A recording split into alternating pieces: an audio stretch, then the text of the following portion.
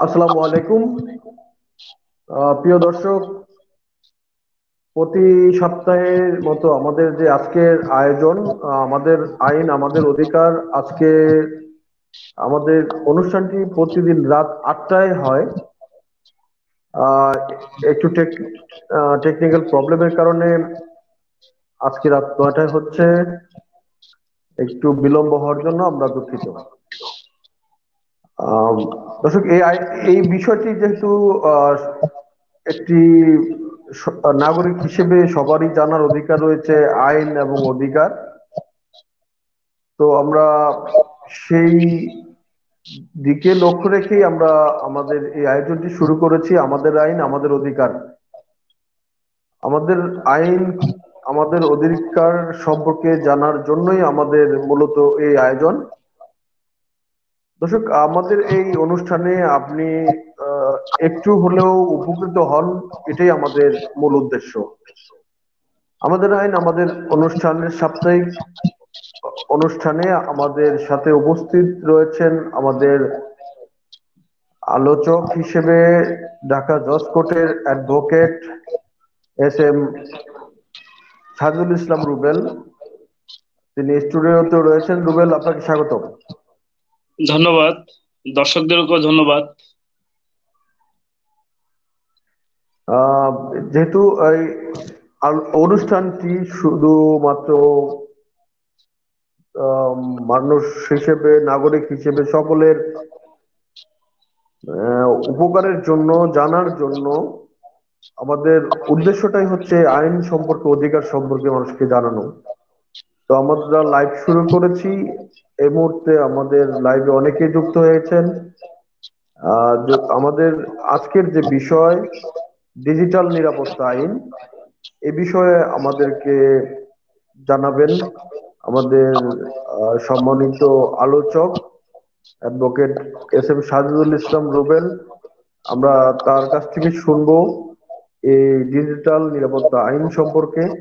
দর্শক এ বিষয়ে যদি আপনাদের কোনো মতামত থাকে, আপনারা লাইভ চলাকালীন কমেন্টস বক্সে কমেন্টস করতে পারেন।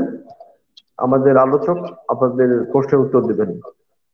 দর্শক, দেশ বিদেশ থেকে যারা এই অনুষ্ঠান শুনছেন, তাদের সকলকে শুভেচ্ছা জানিয়ে শুরু করছি আমাদের আজকের অনুষ্ঠান, আমাদের আইন, আমাদের অধিকার। আমরা আলোচনার মূল পর্বে চলে যাব আমাদের আজকের আলোচকের কাছে অ্যাডভোকেট শাহিদুল ইসলাম রুবেলের কাছে। রুবেল, আমরা সরাসরি আপনাদের কাছে, আপনার কাছেই চলে যাব। আমরা আজকে শুনব যে ডিজিটাল নিরাপত্তা আইনটা কি, এটা কখন চালু হয়, এবং এটার লক্ষ্য ও উদ্দেশ্য কি? একটু বিস্তারিত আমাদেরকে জানাবেন। ধন্যবাদ ধন্যবাদ রাজবাড়ি জানালকে। দেখুন যে আমরা, আপনি যেটা বললেন যে ডিজিটাল নিরাপত্তা আইন, এই আইনটা প্রণীত হয় দুই সালে। তো আমি দর্শকদের জ্ঞাতার্থে বলে রাখি যে, এই আইনটা প্রণয়নের আগে যে আমাদের যে তথ্য যোগাযোগ প্রযুক্তি ক্ষেত্রে বিভিন্ন বিষয় বিভিন্ন অপরাধ, এগুলো বিচার করার জন্য আমাদের আরেকটি আইন ছিল আইসিটি অ্যাক্ট টু থাউজেন্ড এটা দু হাজার ছয়ে প্রণীত হয়েছিল। তো তৎপরবর্তীতে পরিবর্তিত প্রেক্ষাপটের আলোকে আমাদের ওই আইনটায় কিছু কিছু সংশোধন করে নতুন করে একটা আইন প্রণয়ন দুই সালে ডিজিটাল নিরাপত্তা আইন টু থাউজেন্ড এটা প্রণীত হয়। তো এই আইনের উদ্দেশ্যটা কি? কেন এটা প্রণীত হলো? বা কোন প্রেক্ষাপটে প্রণীত হলো? এই আইনটার, অর্থাৎ ডিজিটাল নিরাপত্তা আইন দুই হাজার আঠারোর যেই আইনের প্রস্তাবনা প্রস্তাবনা অংশে এটা বর্ণিত রয়েছে। অন্যান্য আইনের মতোই এই আইনের প্রস্তাবনা যে অংশটা আছে, আমরা যেটাকে প্রিয়াম্বল বলি, ওখানে এটার অবজেক্টিভটা কি? এটা বলা হয়েছে। আমি যদি আপনাকে একটু বলি যে এখানে প্রস্তাবনায় কি বলা হয়েছে? প্রস্তাবনায় বলছে ডিজিটাল নিরাপত্তা নিশ্চিতকরণ এবং ডিজিটাল মাধ্যমে সংঘটিত অপরাধ শনাক্তকরণ, প্রতিরোধ, দমন, বিচার ও আনুষাঙ্গিক বিষয় সম্পর্কে বিধান প্রণয়ন কল্পে প্রণীত আইন। দেখুন, আপনি যদি প্রস্তাবনা পড়েন, কয়টা জিনিস পান? একটা হচ্ছে ডিজিটাল মাধ্যমে সংগঠিত অপরাধ। আপনি এই আইন ধারা ডিজিটাল যে প্ল্যাটফর্ম দ্যাটস মিন এখানে সামাজিক যোগাযোগ মাধ্যম, এখানে অন্যান্য ডিজিটাল যোগাযোগ মাধ্যম যেমন গুগল যেমন অন্যান্য যেই অন্যান্য যোগাযোগ মাধ্যম ফেসবুক টুইটার হোয়াটসঅ্যাপ তো এই যে এই ক্ষেত্রগুলোতে, গুলোতে যে অপরাধ সংগঠিত হয়। সংগঠিত হওয়ার সম্ভাবনা তৈরি হয়েছে। তো এই অপরাধগুলো শনাক্তকরণ এবং এই অপরাধগুলোকে প্রতিরোধ করা, দমন করা, বিচার এবং বিচারের এই এই কাঠামোটাকে সু ভালোভাবে এবং খুব সুন্দরভাবে পরিচালনার জন্য আরও যদি কোনো আনুষাঙ্গিক ম্যাটার দরকার হয়, এই বিষয়গুলোকে যেই রিড্রেস করার জন্য মানে সমাধা করার জন্য এই আইনটা প্রণয়ন হয়েছে। কারণ এই আইনে বিভিন্ন চ্যাপ্টারে বিভিন্ন বিষয়ে বর্ণনা করা হয়েছে। ওই ওই দিকে আমি বিস্তারিত বলব না। কিন্তু এইটার উদ্দেশ্যটা আপনি একেবারে প্লেন রিডিং এটার যদি প্রস্তাবনাটা দেখেন, আপনি খুব আপনার ভালোভাবেই আপনি পাচ্ছেন। এবং যে কোনো ব্যক্তি যদি এটার প্লেন রিডিং করে, এটা বুঝতে পারবে। আশা করি আপনার যে প্রশ্নের উত্তরটা আপনি পেয়েছেন।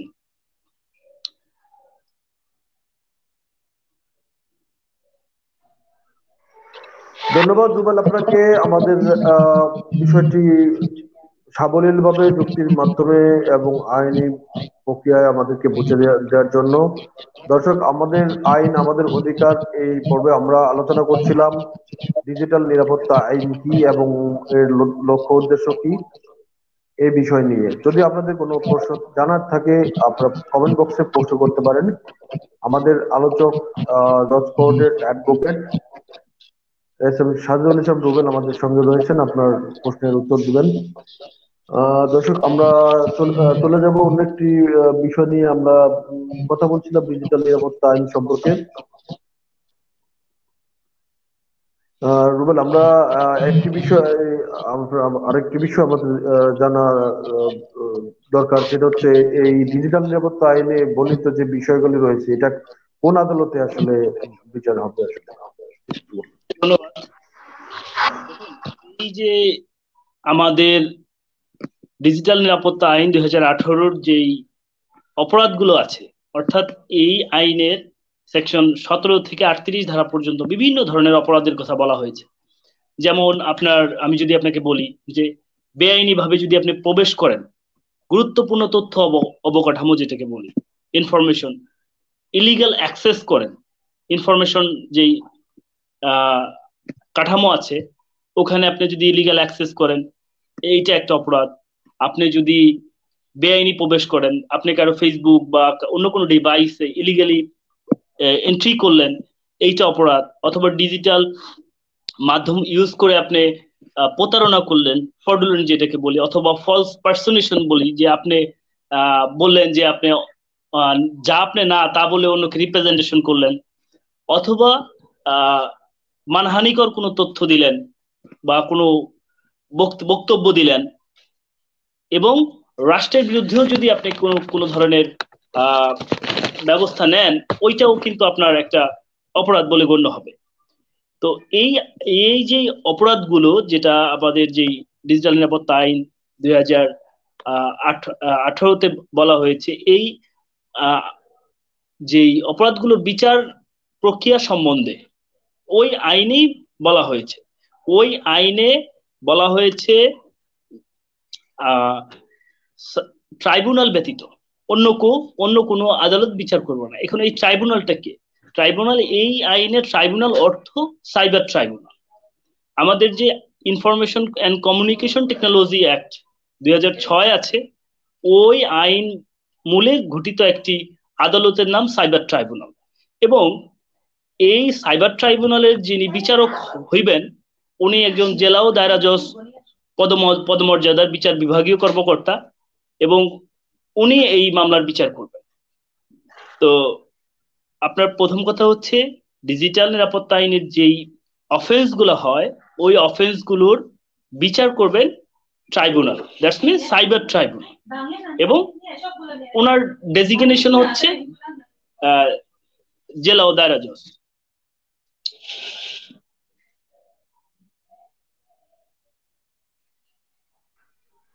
হ্যাঁ রুবেল আমরা শুনছিলাম আপনার কাছ থেকে।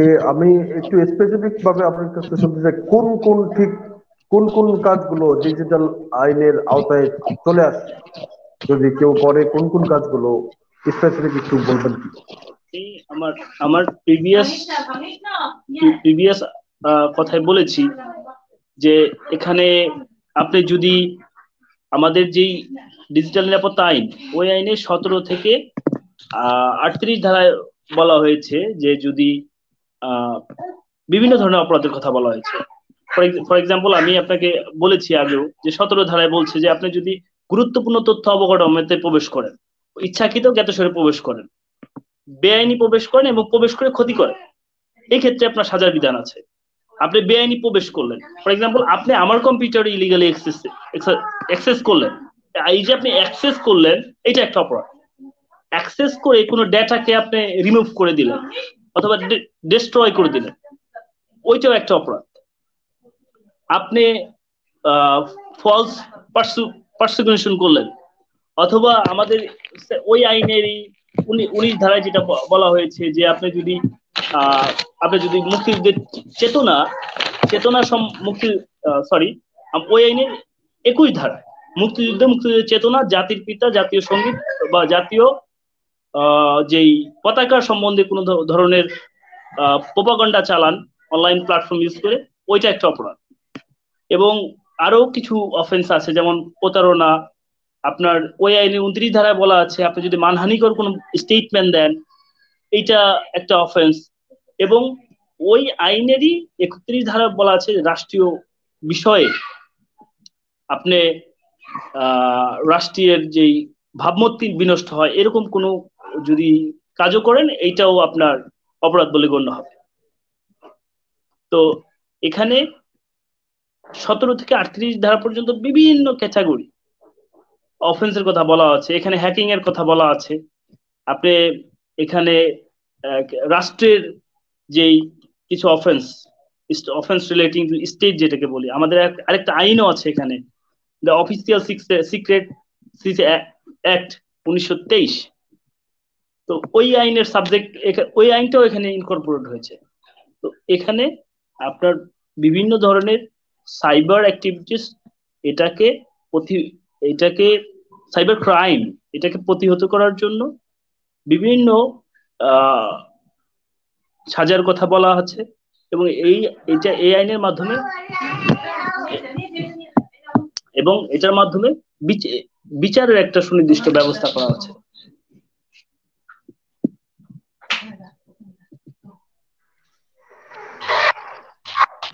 সুপ্রিয় দর্শক আপনারা দেখছেন রাজবাড়ী জার্নালের অফিসিয়াল ফেসবুক থেকে সরাসরি আমাদের আইন, আমাদের অধিকার সাপ্তাহিক অনুষ্ঠান। প্রতি শুক্রবার রাত আটটায় আমরা হাজির হই এই অনুষ্ঠানটি নিয়ে। আজকের বিষয়, ডিজিটাল নিরাপত্তা আইন। এর উদ্দেশ্য, লক্ষ্য এবং কার্যাবলী নিয়ে আমরা আলোচনা করছেন আমাদের সঙ্গে ঢাকা জজ কোর্টের আইনজীবী advocate S M Sajul Islam Rubel, আমরা একটা বিষয়ে আপনার কাছে জানতে চাই। যদি কেউ ডিজিটাল আইনে ডিজিটাল আইনে মামলা করতে চায়, তা, তাহলে তাকে কোথায় যেতে হবে? আর মামলা করার পর কতদিন পর সে বিচার পাবে? এবং কোন ক্ষেত্রে কেমন রায় হতে পারে, একটু ডিটেলটা একটু যদি বলতেন। দেখুন, আমাদের যেই, আপনি যে কোশ্চেনটা প্রথমে করেছেন যে কে কে মামলা করতে পারে, আমি আমার আলোচনার সুবিধার্থে আপনার যে প্রশ্নটাকে যদি দুটো সেগমেন্টে ভাগ করি, কে মামলা করতে পারে। যে কোনো ব্যক্তি মামলা করতে পারে, যে সংক্ষুব্ধ সে মামলা করতে পারে। সে দুইটা জায়গায় মামলা করতে পারে। সে সংশ্লিষ্ট থানায় মামলা করতে পারে অথবা যেই সাইবার ট্রাইব্যুনাল আছে, ওখানে মামলা করতে পারে। দেখুন আপনি জানবেন যে কিছুদিন পূর্বেও আমাদের সারা দেশের জন্য শুধুমাত্র একটা সাইবার ট্রাইব্যুনাল ছিল, এটা ঢাকাতে ক্যাপিটালে ছিল। এখন সারা বাংলাদেশে বিভাগীয় পর্যায়ে সাইবার ট্রাইব্যুনাল প্রতিষ্ঠা করা হয়েছে এবং পরবর্তীতে এটা সংশ্লিষ্ট মন্ত্রণালয় এবং সুপ্রিম কোর্ট যদি প্রয়োজন মনে করেন, সারা দেশে যত সংখ্যক প্রয়োজন মনে করবেন, সাইবার ট্রাইব্যুনাল প্রতিষ্ঠা করতে পারবেন। তো সে যে কোনো ব্যক্তি যে সংক্ষুব্ধ হবে, উনি সাইবার ট্রাইব্যুনালে কমপ্লেইন্ট মামলা আকারে মামলা করতে পারবে, অথবা উনি চাইলে থানায় মামলা করতে পারবে যে কোনো ব্যক্তি, এখানে যেহেতু আমাদের যে ডিজিটাল নিরাপত্তা আইন, ওই আইনে বলা নেই যে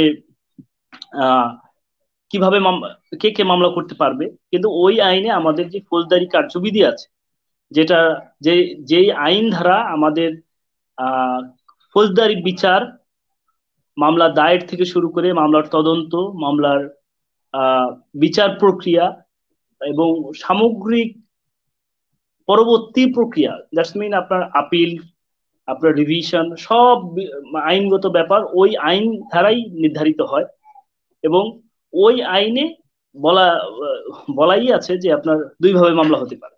একটা হচ্ছে আপনি সংশ্লিষ্ট থানায় যেটাকে এফআইআর লোডস এর মাধ্যমে করবেন, এটা ফৌজদারি কার্যবিধির একশো চুয়ান্নতে হতে পারে, অথবা যদি সংশ্লিষ্ট থানা ভারপ্রাপ্ত কর্মকর্তা অন্য কোনো মাধ্যমে জানতে পারেন যে এখানে এই আমল আমলযোগ্য অপরাধ হচ্ছে এই সাইবার অফেন্স। উনি নিজে মামলা করতে পারবেন, কোনো ইনফরমেন্টও দরকার নেই। অন্য আরেকটা ভাবে হচ্ছে, যেই ক্ষতিগ্রস্ত ব্যক্তি, উনি সংশ্লিষ্ট যে সাইবার ট্রাইব্যুনাল আছে, ওখানে কমপ্লেইন্ট কেসের মাধ্যমে উনি মামলাটা দায়ের করতে পারবেন। এরপরে আপনি যে এই কোশ্চেনটা করেছেন যে এটা বিচার প্রক্রিয়াটা কত, কতদিন? দেখুন এখানে আমাদের একটা জেনারেল গাইডলাইন দেওয়া আছে যে একশো আশি দিনের মধ্যে বিচার শেষ হবে এবং এটা বিচার শেষ করবে। কিন্তু এইটা আরও কিছু পারিপার্শ্বিক অবস্থান এবং অন্যান্য বিষয়ের উপর নির্ভর করে। যেমন আপনি জানেন যে একটা মামলা যখন এফআইআর মাধ্যমে লর্ডস হয়, লর্ডস হওয়ার পরে এখানে কোনো না কোনো ল এনফোর্সিং এজেন্সি এটাকে ইনভেস্টিগেশনের দায়িত্ব পায়। তো তারা ইনভেস্টিগেশন করবে, করে রিপোর্ট দিবে। রিপোর্ট দেওয়ার পরে একশো আশি কার্য দিবসের মধ্যে নিষ্পত্তি করবে। আমাদের যেই কোর্ট কিন্তু এইটা যে পুলিশ রিপোর্ট ওইটা পাওয়া সাপেক্ষে, অথবা যদি সে কমপ্লেইন কেস করে, ওখানে জুডিশিয়াল ইনকোয়ারি হবে। ইনকোয়ারি হওয়ার পরে ফার্দার প্রসিডিংস এইটা শুধু ওইটা, একটা জেনারেল গাইডলাইন দেওয়া আছে ওয়ান এইটি ডেইস কার্য দিবস। ডেইস মিনস এখানে ওয়ার্কিং ডেজ তো এখানে আরেক এই আইনের যেহেতু সুস্পষ্ট আর কোনো বিধান নেই, তাও দুই শ্রেণির লোকই মামলা করতে পারবে। মানে দুই জায়গাটাই মামলা করতে পারবে।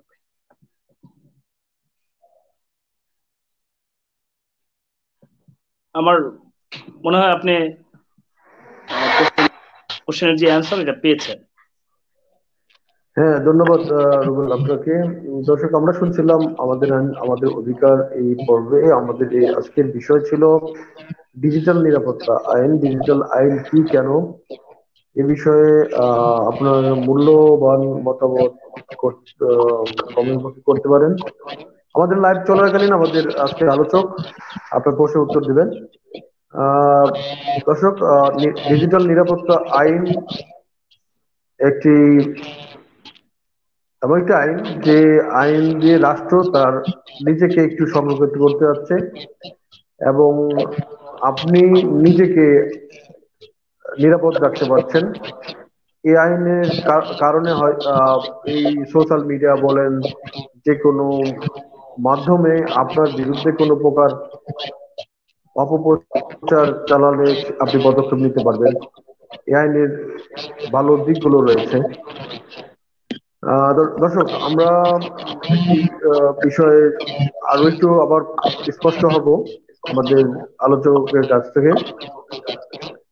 যে এই মামলায় যদি কেউ আসামি হয়, এটা কি জামিনযোগ্য অপরাধ কিনা বা কবে জামিন পাবে এই মামলার মুক্তি কি, কীভাবে আসলে মামলা খারিজ হয় এই বিষয়ে একটু জানাবেন।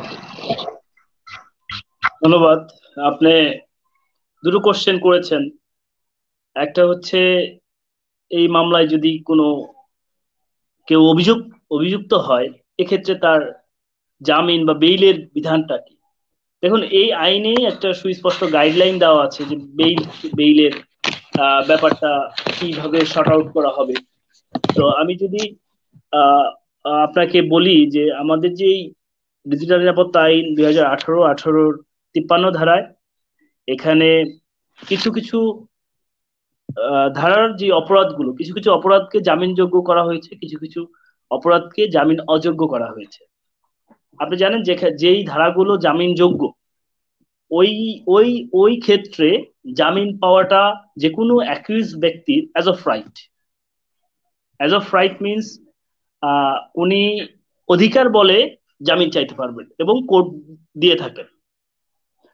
এবং এক্ষেত্রে আপনার জামিনযোগ্য যেই ধারাগুলো রয়েছে বিশ, পঁচিশ, উনত্রিশ, সাতচল্লিশ। এই চারটা সেকশন বেইলেবল এবং আদার্স যেই সেকশন আছে সতেরো থেকে আটত্রিশ পর্যন্ত, সতেরো, উনিশ, একুশ, বাইশ, তেইশ, চব্বিশ, ছাব্বিশ, সাতাশ, আঠাশ, তিরিশ, একত্রিশ, বত্রিশ। এই সেকশনগুলো নন বেইলেবল তো একে নন বেইলেবল সেকশনের ক্ষেত্রে সরি নন বেইলেবল সেকশনের ক্ষেত্রে জামিন পাওয়াটা এটারও একটা গাইডলাইন আমাদের যে ফৌজদারি কার্যবিধিটা রয়েছে। আমাদের ফৌজদারি কার্যবিধির চারশো ছিয়ানব্বইতে একটা গাইডলাইন দেওয়া হয়েছে যে এখানে নন বেইলেবল অফেন্সের ক্ষেত্রে কীভাবে বেইল দেওয়া হবে। এক্ষেত্রে বলা আছে যেমন জেনারেল মামলার ক্ষেত্রে, এটা তো একটু স্পেশাল যেহেতু ফোরাম আমি বলছি জেনারেল মামলার ক্ষেত্রে যেটা হয়, যে কেউ যদি ওল্ড এজ হয়, কেউ যদি সিক হয় এবং উইমেন এবং চিল উইমেন হয় চিলড্রেনদের জন্য আলাদা শিশু আইন আছে, তার জন্য আলাদা ফোরাম আছে।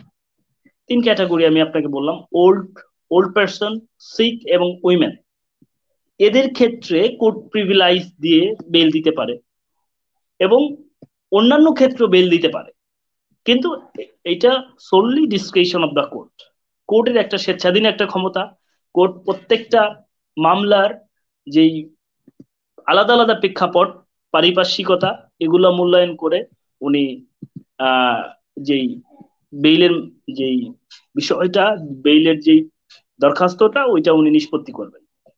কিন্তু যে কোনো ব্যক্তি, সে যে অপরাধী অভিযুক্ত হোক, জামিন চাইতে পারেন, উনি সাইবার ট্রাইব্যুনালে চাইতে পারেন। সাইবার ট্রাইব্যুনালে যদি তার জামিন না দেয় ওই ক্ষেত্রে উনি উচ্চ আদালতে দ্বারস্থ হতে পারেন। উচ্চ আদালত তার যেই রুলস অ্যান্ড প্রসিডিংস আছে প্রসিডিংস অনুসারে ওই তার যে জামিনের দরখাস্ত, ওইটা নিষ্পত্তি করবেন। তো এই ক্ষেত্রে আইনের প্যারামিটার হচ্ছে, এখানে যে নিরাপত্তা আইন, ডিজিটাল নিরাপত্তা আইন দুই হাজার এখানে কিছু কিছু অফেন্স যেগুলো বেইলেবল সেগুলো অ্যাজ অফ রাইট বেইল পাবে। আর আদারওয়াইজ ক্ষেত্রে এটা কোর্ট সেটেল করবে। আমার মনে হয় আপনি আপনার অ্যান্সারটা পেয়েছেন।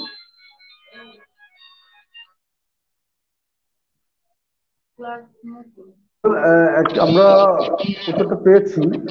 একটা বিষয় একটু ক্লিয়ার করবেন যে যদি কোনো ব্যক্তি অ্যাকুজড হয়, সেক্ষেত্রে তার সাজা কত দিনের কেমন কি এক এক সেকশনে বা এক এক ধরনের অফেন্সের ক্ষেত্রে এক এক ধরনের সাজার কথা বর্ণিত রয়েছে। এখানে আমি যদি বলি যে আপনার যেমন আপনি সেকশন সতেরোতে যদি আপনি যান, আপনি যদি ইলিগাল অ্যাক্সেস করেন কোন তথ্য অবকাঠামোতে, তাহলে আপনি সাজা হচ্ছে সাত বছর, অনধিক পঁচিশ লক্ষ টাকা জরিমানা। যদি এই কাজটাই বেআইনি প্রবেশের মাধ্যমে ক্ষতি করে, একটা হচ্ছে আপনি বেআইনি প্রবেশ করলেন, এর জন্য সাত বছর। আর আপনি যদি ক্ষতি করেন, ওই ক্ষেত্রে হচ্ছে চোদ্দ বছর এবং এক কোটি টাকা জরিমানা। এবং এই অফেন্সটাই যদি আপনি সেকেন্ড টাইম করেন মানে আপনার, আপনি যদি হ্যাবিচুয়াল অফেন্ডার হন, যে এক টাইমে আপনি সাজাপ্রাপ্ত হয়ে আপনি দ্বিতীয়বার অফেন্স করেছেন, ওই ক্ষেত্রে আপনার জন্য লাইফ টাইম ইমপ্রিজনমেন্ট মানে যাবজ্জীবন কারাদণ্ড এবং পাঁচ কোটি টাকা জরিমানা। এবং আরেকটা জিনিস যে, আরেকটা আমি যদি সেকশন বলি, যে আঠারোতে যেটা বলতেছে, বেআইনি প্রবেশ ইলিগাল অ্যাক্সেস আপনি কারও মোবাইলে তার ফেসবুক ওপেন রয়েছে, আপনি ইলিগালি অ্যাক্সেস করলেন, ঢুকলেন। এটা এটা এটা একটা অফেন্স এই আইন অনুসারে। এবং এর সাজা হচ্ছে ছয় মাস, দুই লক্ষ টাকা জরিমানা। আর এই কাজটাই যদি আপনি অপরাধ সংগঠনের জন্য করেন, আপনি প্রথম কথাটা হচ্ছে আঠারোর এক এক অনুসারে আপনি কোনো অপরাধ সংগঠনের অভিপ্রায় নিয়ে তার মোবাইল ডিভাইসে অ্যাক্সেস করেন নাই। শুধুমাত্র অ্যাক্সেস করেছেন। একজন আপনার সামনে ফেসবুক ওপেন করে ওপেন করেছে, আপনি ওখানে ঢুকেছেন, আর কিছুই করেন নাই এর জন্য আপনার ছয় মাস সাজা। আপনি অ্যাক্সেস করেছেন এবং অপরাধ সংগঠনের জন্য। ওই ক্ষেত্রে আপনার তিন বছর এবং দশ লক্ষ টাকা জরিমানা। এখন কোশ্চেন হচ্ছে, এই অপরাধটা আপনি সেকেন্ড টাইম করেছেন। ইলিগাল অ্যাক্সেস করেছেন বাট টুইস্ট তখন আপনার সাজার পরিমাণ আপনার বেড়ে যাবে। আপনি যেই সাজা পেয়েছেন, তার ডাবল এবং দশ লক্ষ টাকা জরিমানা। এখানে ফাইনের অ্যামাউন্টটা একটু বেশি। এটা এটা নির্ভর করছে, দেখেন, আমি প্রথম যেই অপরাধের কথাটা বললাম, যে আপনি যে কোনো গুরুত্বপূর্ণ তথ্য অবকাঠামোতে প্রবেশ করেছেন। ফর এক্সাম্পল আপনার সরকারি একটা ডাটা সার্ভার আছে, ওখানে আপনি ইলিগালি অ্যাক্সেস করেছেন। যেখানে তথ্য সেবা দেন ওই ক্ষেত্রে আপনার সাজা একরকম। আপনি কোনো প্রাইভেট পার্সনের অ্যাক্সেস করেছেন। ওই ক্ষেত্রে আপনার সাজা একরকম। তো এই এই যে বিভিন্ন ধরনের অপরাধ, আপনি যদি আরেকটু এসে যান, আপনি এখানে এই যে ডিজিটাল ফ্রড ইলেকট্রিক ইলেক্ট এই ধারা তেইশ ডিজিটাল ইলেকট্রনিক প্রতারণা করেন, ওই ক্ষেত্রে সাজা একরকম। তো বিভিন্ন ভাবে বিভিন্ন সেগমেন্টে এই অপরাধে, অপরাধগুলা বিভিন্ন সাজার কথা বর্ণিত আছে।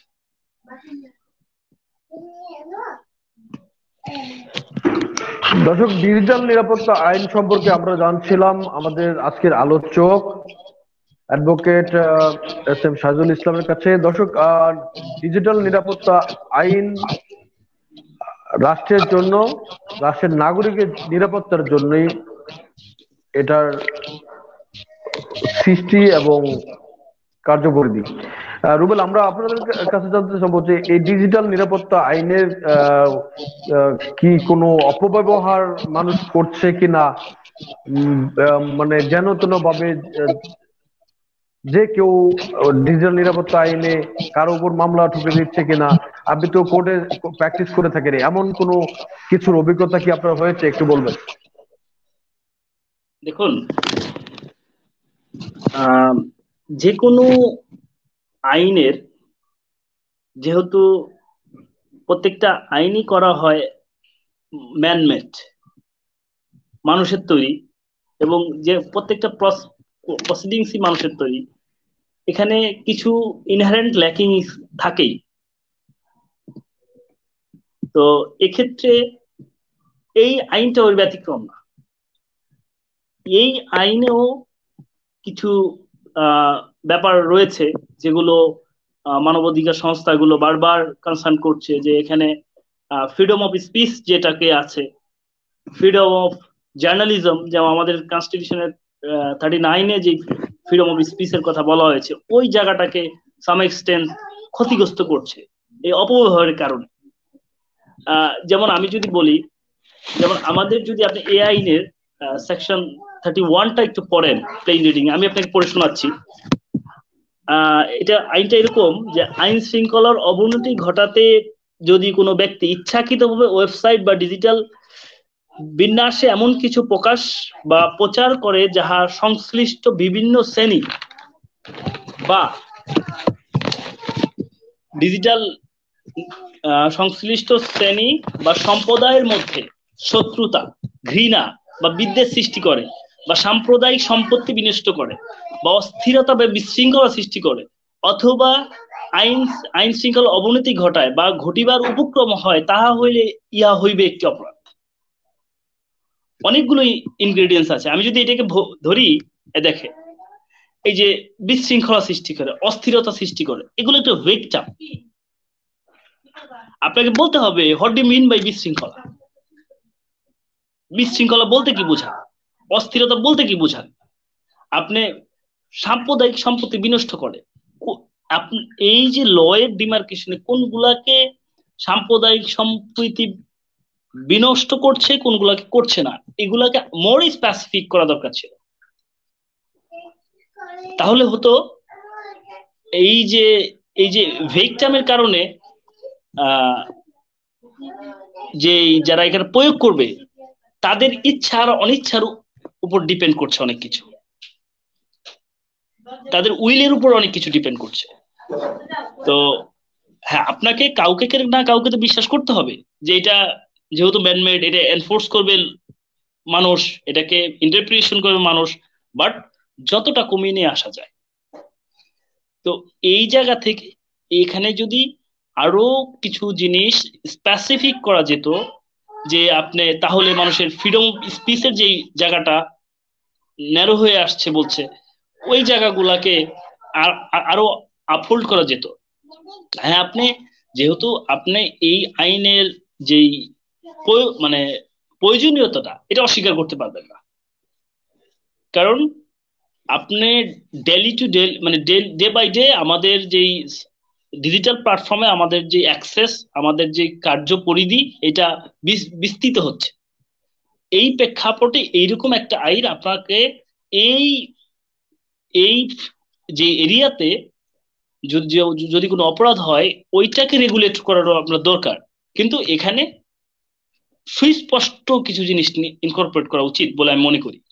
না হলে এই যে কিছু কিছু বিষয় আছে এখানে, এই জিনিসগুলোর কারণে এই অনেক ক্ষেত্রেই আমার যে আন্তর্জাতিক সম্প্রদায় অথবা আর যেই মানবাধিকার সংস্থাগুলো ওনারা যে কনসার্ন করছে, আমি মনে করি যে সরকার এটাকে দৃষ্টিপাত করবে এবং এটার যে প্রয়োজনীয় রিফর্ম দরকার ওইটা করবে। তাহলেই এই জায়গাটা যে রুবেল একটা বিষয় আমরা একটু পরিষ্কার হতে চাই। ডিজিটাল নিরাপত্তা আইন তৈরি হয়েছিল দুই হাজার আঠারো সালে আপনি বলছিলেন।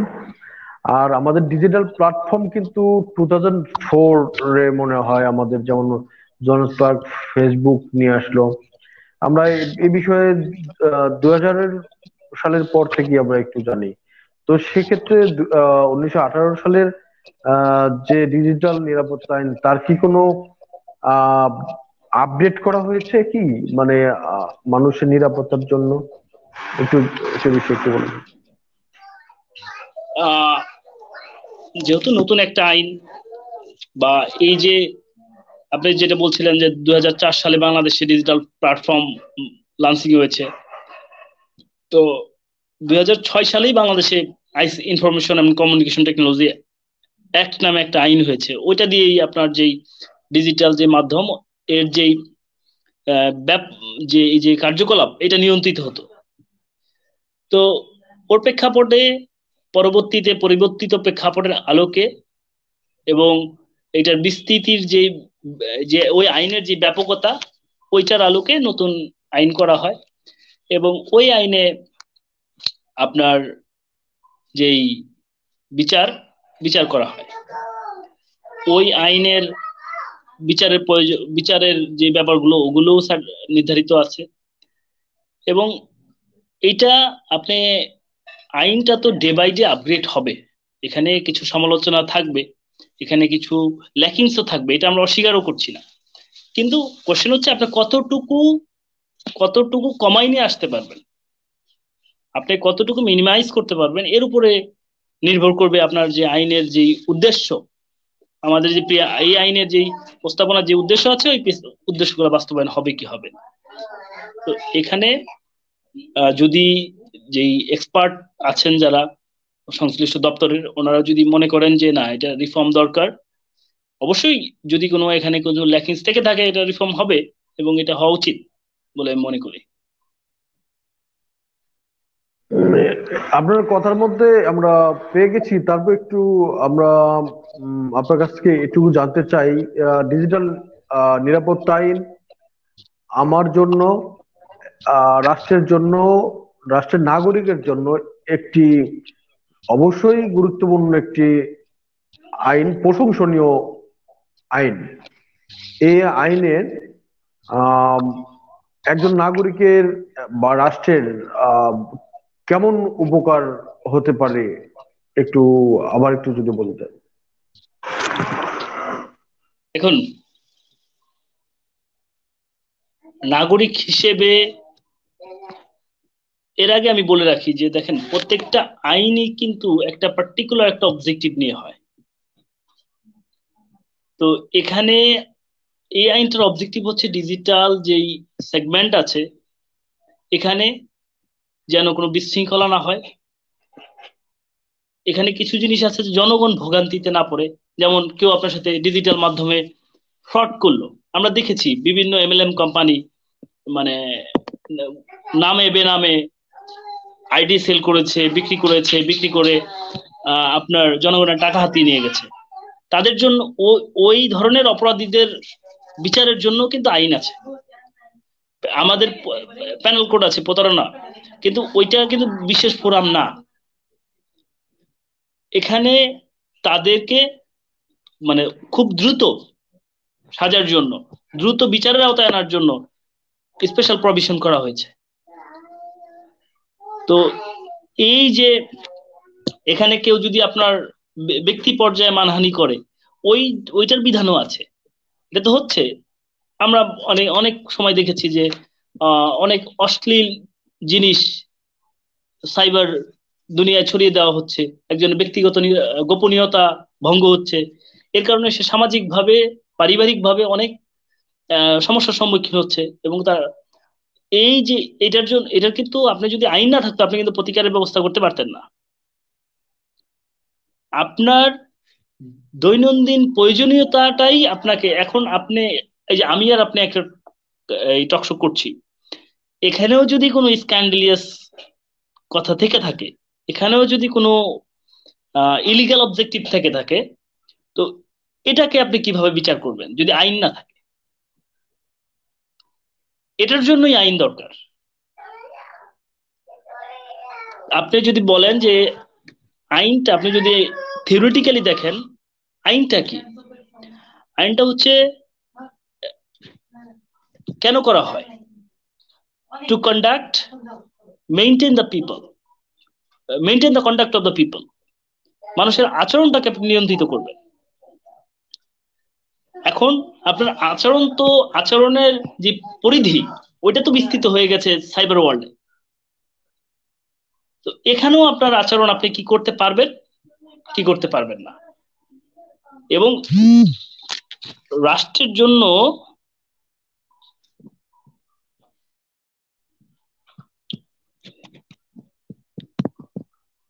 আরে কি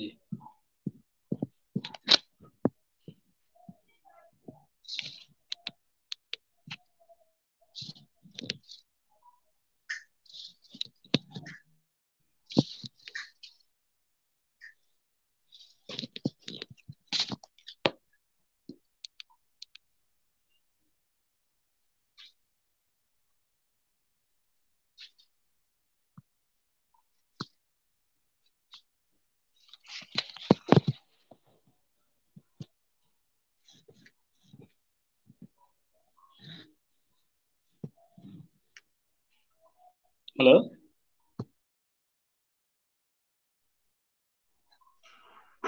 হ্যাঁ। ধন্যবাদ রুবেল দর্শক আমরা শুনছিলাম হ্যাঁ। দর্শক আমরা শুনছিলাম আমাদের আজকের আলোচক আইনজীবী এস এম সাজুল ইসলাম রুবেলের কাছ থেকে ডিজিটাল নিরাপত্তা আইন সম্পর্কে এবং এর প্রয়োগ, উদ্দেশ্য, লক্ষ্য এবং কার্যবিধি। আইন হচ্ছে মানুষের আচরণকে নিয়ন্ত্রণে রাখার জন্য সরকার বা রাষ্ট্র গঠিত একটি নিয়ম যা আমাদের নাগরিক হিসেবে আমাদের নিরাপত্তার জন্য প্রণয়ন করা হয়। দর্শক, আসুন আমরা সবাই আইন মেনে চলি, এক একটি রাষ্ট্রের নাগরিক হিসেবে অবশ্যই রাষ্ট্রকে এগিয়ে নিয়ে যেতে আমরাও সহযোগী হই। দর্শক, আবারও আসব আমাদের সাথে আবার একটি বিষয় নিয়ে। দর্শক, প্রতি শুক্রবার রাত আটটায় আমরা আলোচনা করি আপনাদের সাথে আমাদের আইন, আমাদের অধিকার এই বিষয়টি নিয়ে। প্রতি শুক্রবার রাত আটটায় আমাদের অনুষ্ঠানটি দেখার আমন্ত্রণ জানিয়ে বিদায় নিচ্ছি। আবারও দেখা হবে ইনশাল্লাহ আল্লাহ হাফেজ। ভালো থাকবেন, নিরাপদ থাকবেন, নিজের প্রতি সচেতন হবেন এবং অবশ্যই আইন মেনে চলবেন। তো এতক্ষণ আমাদের সঙ্গে যারা যুক্ত ছিলেন বা যুক্ত হবেন, সকলকে শুভেচ্ছা জানিয়ে শেষ করছি আজকের মতো। আল্লাহ হাফিজ